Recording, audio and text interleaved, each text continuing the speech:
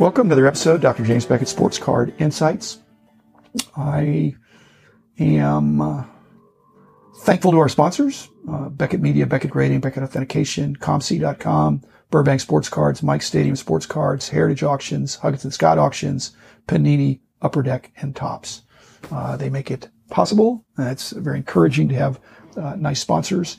Uh, you know, when I do these episodes, I don't know how long they're going to last. Uh, not in terms of shelf life. I think they're going to last for, for years. But uh, when I'm going to I'm going to talk about Jerry West, and I don't know if that's going to be 10 minutes or if it's going to be 15 minutes. It's probably going to be something in between. Uh, Jerry West, uh, the basketball player, but also the basketball executive, and for those of you who follow sport closely, he's the logo, the the, the logo of the NBA. Uh, 50 a little more than 50 years ago was designed, and and it was from a photo of Jerry West that that that uh, it's indistinguishable facially, but people can tell by the body, uh, not contortion, but his his uh, the, the way. Well, I'll, I'll explain that.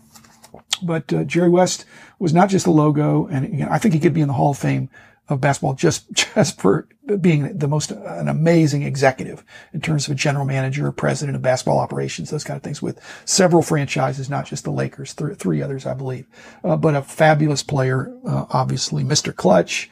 Uh, but my first connection with Jerry West was when I was in sixth grade. It's late summer of 1960. We had moved to Wheeling, West Virginia and uh, started a new school. And uh, again, being in West Virginia, uh, Zeke from Cabin Creek, which was his nickname from uh, growing up in the backwoods of uh, West Virginia, where there's not much to do in some of those little towns other than shoot hoops. But uh, Jerry West was the man. He would he had uh, just graduated in the spring from West Virginia University, and I moved into a town. And up to that point, I think I'd been playing baseball, and I, I wasn't great at baseball, kind of a late bloomer. But West Virginia was basketball country.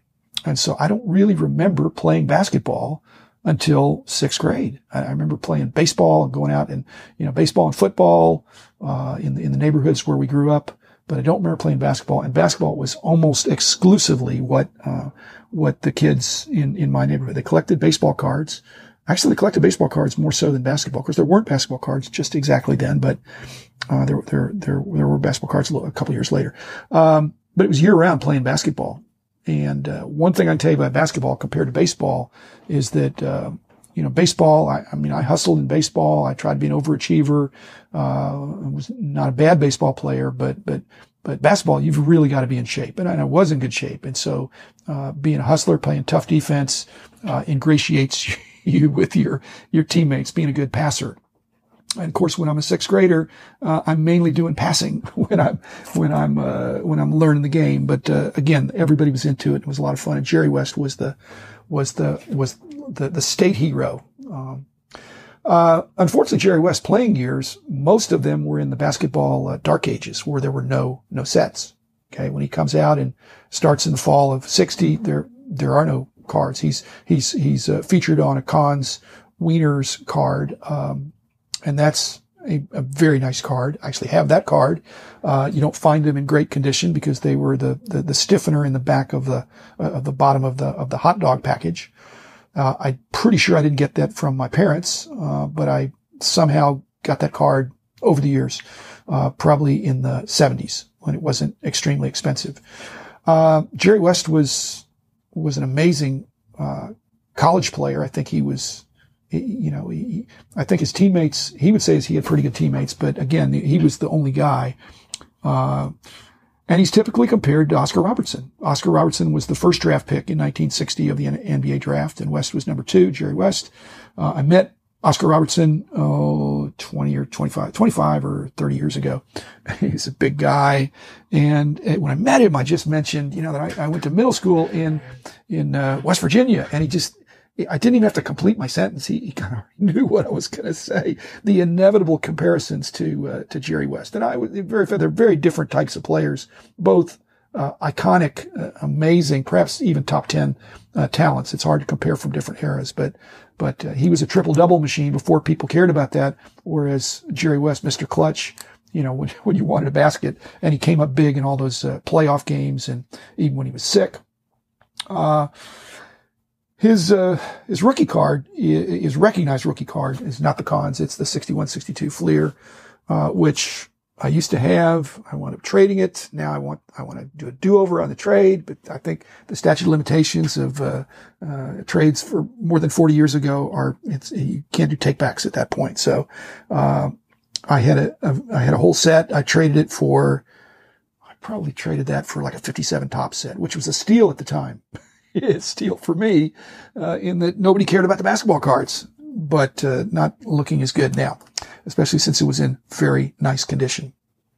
Uh, there's, let's see, uh, well, one of the things, the logo, the reason they noticed that Jerry West is the logo or was the, it came from his photo is that he had a, a certain kind of uh, body lean or body control uh, again, back in the day, if we're going back uh, 50 years ago or more, uh, the rules of, of uh, traveling or palming the basketball and carrying the ball were way, way stricter. In fact, I don't know what rule book they're looking at, but there's there the, to get around somebody uh, was was uh, much more difficult, much more difficult in those days. And you could just see that it's kind of like a skier has to, an expert skier has to have, be able to hinge his or her body uh, to get get around a corner, to get around somebody. And so that was, you know, he had the ability.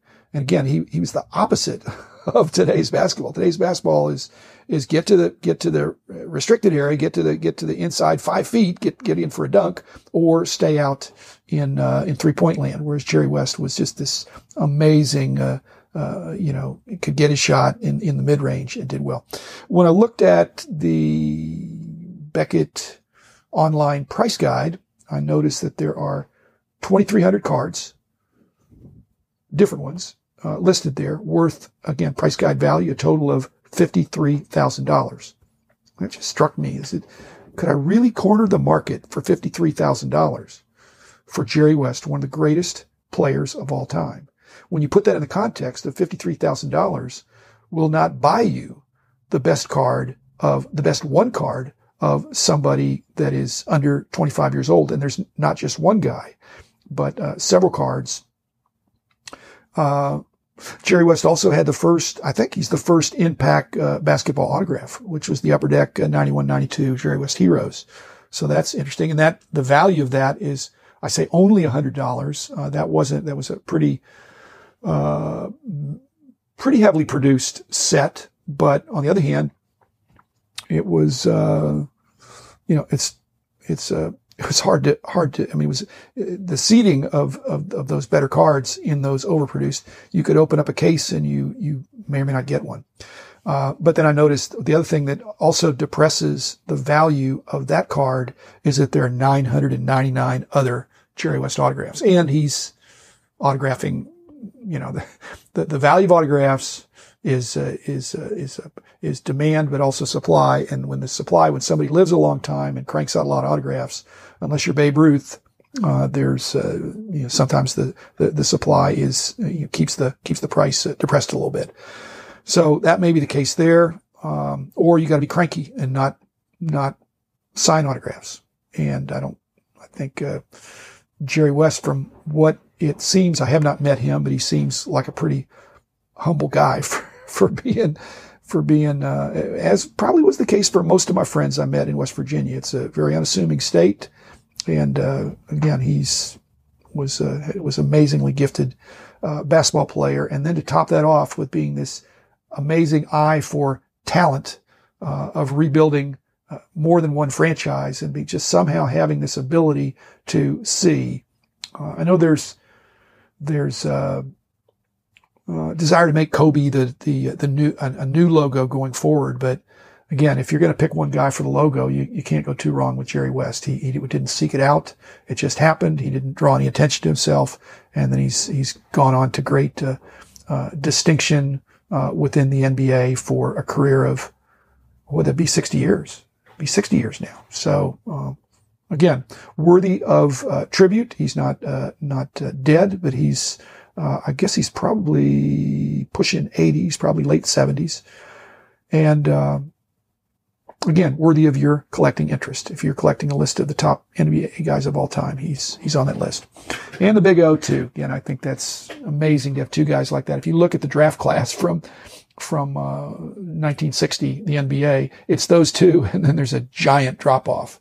Uh, but those twos were, t- those two were two of the greatest. And it, I don't know that sticks in Jerry West Craw that he was number two draft to the Big O, but, uh, uh, nevertheless, they, they both were, were outstanding.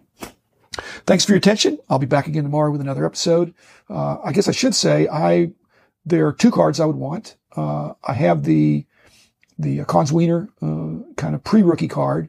Uh, I don't have the 6162 Bell brand, which is, uh, an extremely, really, really tough card. And I don't have the 6869 Topps test uh, card, which is listed at three thousand dollars, but my, I'm guessing, and he's he's like right behind Wilt and Bill Russell uh, in the in the values for that set. But I, I think those those values are are a little light because I just it's very very tough. I mean, I've only seen a handful of those over the years. So, happy collecting. Uh, and enjoy your time, and I will be back again tomorrow with another episode.